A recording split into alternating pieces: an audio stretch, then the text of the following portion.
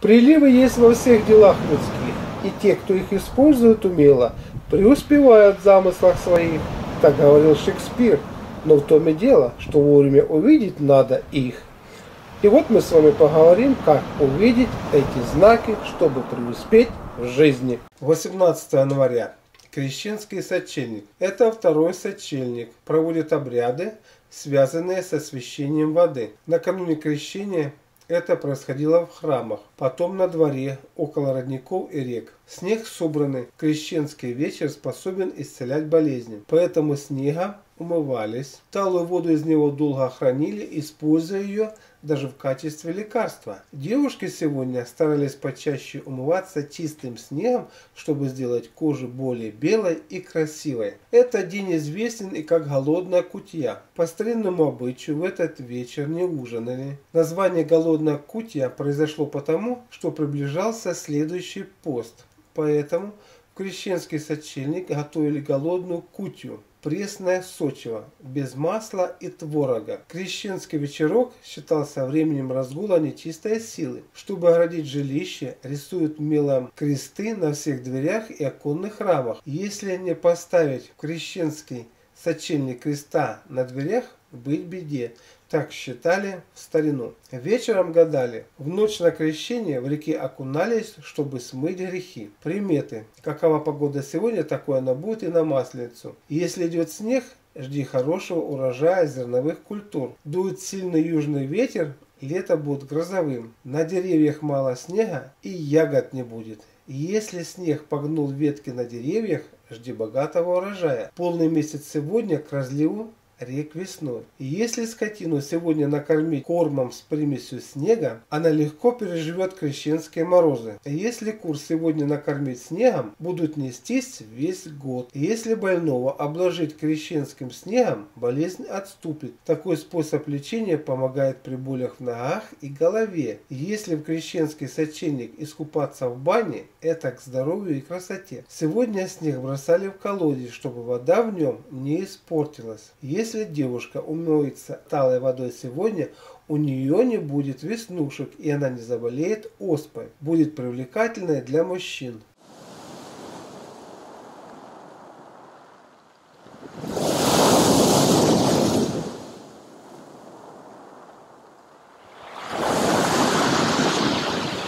даже в этом блюде у нас будет сельдерей, и вы его натрете, да? Да, Давайте. и сельдерей. Кстати, сельдерей он будет давать интересно, он давать особую такую силу и как мужчинам, так и женщинам, так и детям. Поэтому сельдерей в небольшом количестве, но обязательно включайте в свою пищу. Лучше всего, конечно, кормление. О, тут он уже у нас слишком высох, поэтому высохшее мы срежем. А я, Оно знаете, признаюсь, что сейчас, думаю, раз э, корешок, корняков, просто бульон для аромата, без терки тоже можно? Можно. И действительно, мы тогда его просто-напросто не будем тереть. А потом я его вытаскиваю. Я могу так лук класть, например, ну, могу так сельдерей кубиками, класть. кубиками порежем. У нас будет... Ой, какой душистый сельдерей. Вот свеженький сейчас отрезали. Угу. Вот так вот. И его вообще-то надо жевать, пускай. Сельдерей полезен для того, чтобы у нас еще зубки укреплялись. Он пойдет по желудочно-кишечному тракту, будут возбуждать вот эти все пищеварительные там железы, соки выделять и так далее. Все. Давайте пожуем, пока у нас э, варится картошечка. Значит, смотрите, что там произошло по Ароматной Но, новости. Новости какие? Вода угу. закипела, угу. уменьшили огонь, картошечка варится буквально 2-3 минуты, так как мы ее мелко нарезали, можно уже, наверное, будет добавлять и морковь, и свеклу. Хорошо, как только морковочка у нас будет готова, действительно добавляем еще морковь, свеклу, зелень, немножечко все это поварилось, и все, блюдо у нас готово, мы это оставляем. Ну, мы же можем э, дать э, такое напутствие на э, авторскую рецептуру для наших зрителей. Вот э, основа-то в чем? Это овощной суп с проросшей пшеницей, да. наш главный секрет. А овощи люди могут э, добавлять и комбинировать э, по своему желанию. Это точно. Здесь должно быть действительно творчество. Хотите морковочки, там больше, меньше, свеколки, там побольше или там поменьше, сельдерей и прочее, прочее, прочее. И я еще хочу сказать рассказать о том, а как себя вести за столом. Да. Дело в том, что за столом, когда мы садимся, помолились, с, э, прием пищи это должен быть такой, ну, своего рода таинство, потому что во время него мы с вами строим свое тело и здоровье. Поэтому никаких не должно быть разговоров, э, каких-то деловых или еще чего-то, чтобы не отвлекался ум на какие-то там такие процессы, Мгм. совершенно противоположные нашему здоровью. Наоборот, шутки, веселье, какая-то там радость такая вот, семья объединилась за столом, поглощаем пищу, тщательно жуем, э, это будет то, что надо. А когда наоборот человек начинает все вот это вот еще ругается за столом, вот они встретились для того, чтобы выяснять отношения во время приема пищи. Это вообще недопустимо, такого не должно быть. Поэтому люди потом, они удивляются, а почему у них давление повышено, а почему у них там, допустим, кости начинают э, разжижаться или там куда-то там остеопороз Потому что возникает. мало обращает внимание на свою ежедневную жизнь, которая включает, конечно же, и трапезу, к которой стоит относиться грамотно. И при этом эмоциями во время поглощения пищи они себя разрушают. То есть этого не должно быть. Я сейчас еще раз попробую картошку, потому что мне кажется, уже имеет смысл Давайте, добавлять а, мелко натертую морковь. И вспомнила один эпизод. М, точно. Слушайте, хорошо, то? что оставили э, с э, кожурой. Да, честное слово, очень вкусно. Кстати, как раз вот в этой вот кожуре содержится гораздо больше микроэлементов, нежели в середине. И более того, под самой кожурой находится особый слой таких, будем говорить, веществ. Он содержит много ферментов, которые помогают расщеплять да, картофель. А я добавляю закладывающую свеклу. И вот как только это закипит, на самом деле можем считать, что готово, потому что вы на мелкой А терке. сельдерея ты еще не добавила. Вот это вот Вот сейчас самое время, да? Да, Хорошо. добавляем сельдерей. Так, зелень мы будем, э, Зелень мы- чтобы украшать. Зелень мы сейчас мелко порежем и будем Хорошо. добавлять практически уже готовое блюдо. Почему? Потому что ну, она быстро разваривается и чтобы, знаете, сохранила свою, как бы сказать, первозданность, сохранила свою хрустинку, тогда она будет ну, Живая, полезная, живая, полезная, да, хорошая и желанная. А когда все разварится в какую-то бумагу такую, знаете, э, то толку не будет. А я вспомнила какой эпизод. Вот, например, заходит компания в кафе, действительно хотят поесть. Мгм. И вот в этой компании есть курящие, а есть не курящие. Вот что я обращала, на что я обращала внимание. Стоит компания, их люди, значит, э, ну, метрдотель спрашивает, вам курящий зал или не курящий? Мгм. И те, которые не курящие, стоят и молчат. А я сейчас понимаю, люди не курящие, говорите. Мы выбираем не курящие. Почему? Потому что вот эта атмосфера этого дыма тоже э, сказывается отрицательно Отрицательно сказывается на нашем на здоровье. нашем здоровье именно в- во время приема пищи. И, кстати, Настаивайте на некурящем зале. правильно. Я думаю, что скоро как раз закон вот этот выйдет, Да, и 1 уже июня, да. меньше будет Мгм. курить гораздо. Так вот, э, Таня подняла очень интересную еще тему. Вот вы зашли действительно в кафе покушать, а рядом там люди сидят, они могут как-то сквернословить или еще что-то говорить. И вы знаете, э, есть довольно-таки неприятно. И э, что получается, когда человек еще сквернословит, особенно за столом, то тем самым вот эти вот скверные слова, как мы уже э, ранее говорили, притягивают сущности, которые могут войти в еду, Вот. питье и так далее. И потом, естественно, попадает вам, и ни о каком здоровье не может быть речи. Что надо в этом случае сделать? Обязательно, как только услышите матерное слово, вы хотя бы про себя там э, кратко молитву Какую, например? Господи помилуй. Господи, И помилуй. хотя бы так мысленно перекрестите пищу. О, Мысленно перекрестите пищу.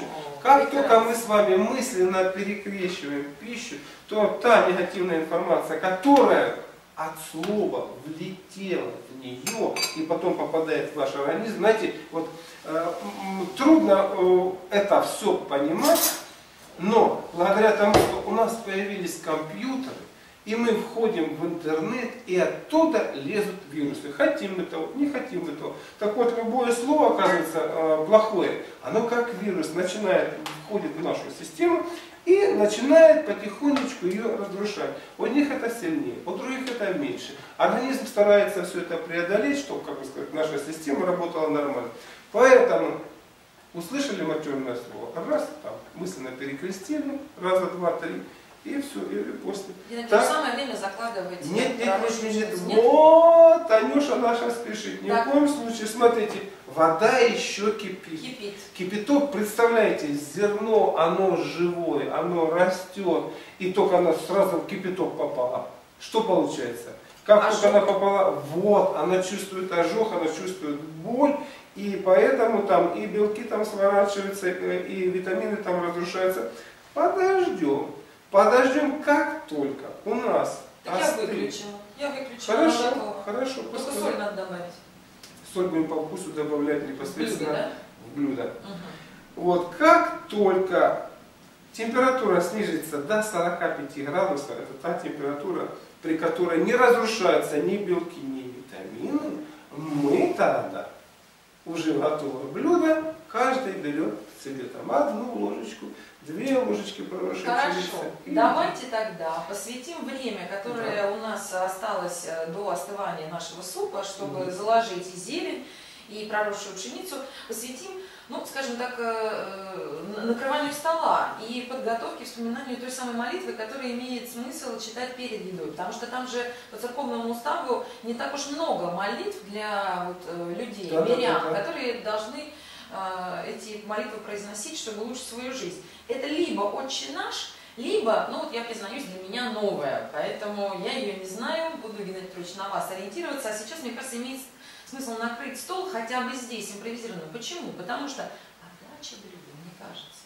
его красота тоже влияет на восприятие пищи. Правильно? Совершенно верно. Танюша, Да. сейчас закладываем зелень. Уже туда? Да, закладываем зелень. Хорошо. И буквально таки через минутку, через две, можно будет уже, можно будет уже наливать супик в наши тарелочки и уже туда, Давайте красиво. Вот, раз, давайте, давайте. так. Красота везде должна быть, потому что красота это э, признак гармонии, э, признак э, душевной радости. И когда все это делается вот действительно красиво, то человек получает ну, еще бы, с пищи такие благоприятные эмоции, которые начинают питать его душу. Потому что пища питает наше тело, а возвышенное мышление, обращение к Богу с молитвой способствует тому, что оно питает еще душу.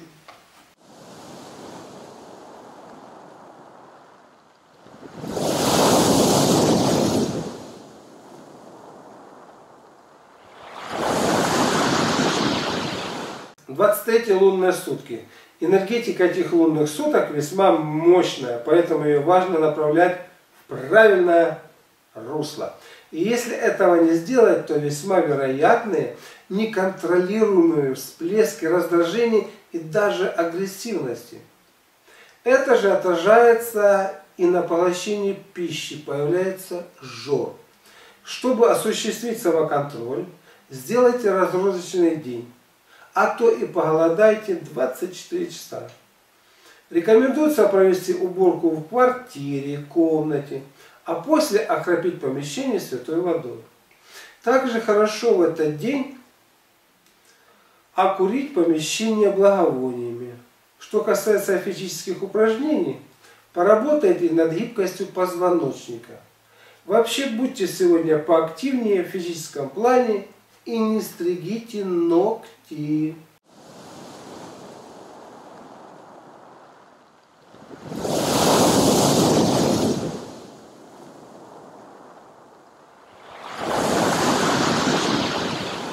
Двадцать четвертые лунные сутки. В эти лунные сутки начинается пробуждение природных сил для нового лунного цикла.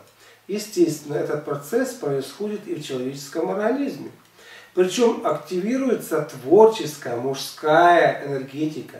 которую можно использовать на созидание чего-то нового или выполнять тяжелую и продолжительную физическую нагрузку, тренировку в конце концов. Если этого не сделать сегодня, то творческие силы, не получив должного выхода, могут навредить, либо исчезнуть за ненадобностью. День подходит и для интимной близости целью реализации мужской энергии. Питание доверьтесь вкусом, но не переедайте.